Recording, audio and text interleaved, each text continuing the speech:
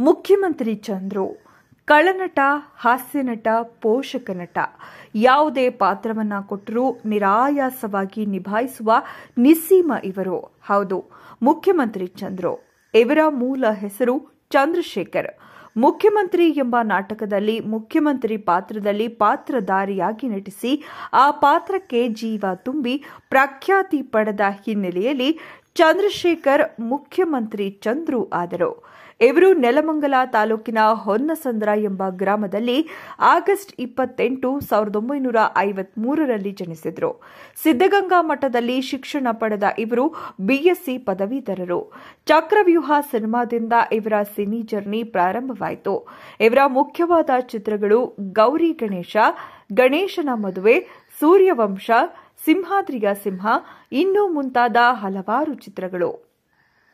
ಇನ್ನು ಇವರು ಕೆಲವು ಸೀರಿಯಲ್ಗಳಲ್ಲಿ ಕೂಡ ನಟಿಸ್ತಾ ಇದ್ದಾರೆ. ಕಲರ್ಸ್ ಕನ್ನಡದಲ್ಲಿ ಮೂಡಿ ಬರುತ್ತಿರುವ ಅಗ್ನಿ ಸಾಕ್ಷಿ ಸೀರಿಯಲ್ನಲ್ಲಿ ವಾಸುದೇವ್ ಪಾತ್ರದಲ್ಲಿ ನಟಿಸ್ತಾ ಇದ್ದಾರೆ. ಇನ್ನು ಇವರಿಗೆ ಶರತ್ ಮತ್ತು ಭರತ್ ಎಂಬ ಇಬ್ಬರು ಗಂಡು ಮಕ್ಕಳಿದ್ದಾರೆ.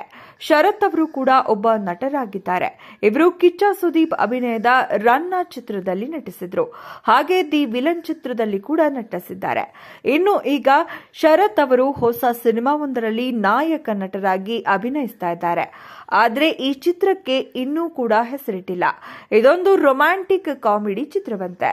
ಸ್ನೇಹಿತರೆ, ಈ ವಿಡಿಯೋ ಕೂಡ ನಿಮಗೆ ಇಷ್ಟವಾದಲ್ಲಿ ಲೈಕ್ ಮಾಡಿ ಶೇರ್ ಮಾಡಿ. ಈ ವಿಡಿಯೋ ಬಗೆಗಿನ ನಿಮ್ಮ ಅನಿಸಿಕೆ, ಅಭಿಪ್ರಾಯವನ್ನು ತಪ್ಪದೆ ನಮ್ಮ ಕಮೆಂಟ್ ಬಾಕ್ಸ್ನಲ್ಲಿ ಕಮೆಂಟ್ ಮಾಡಿ.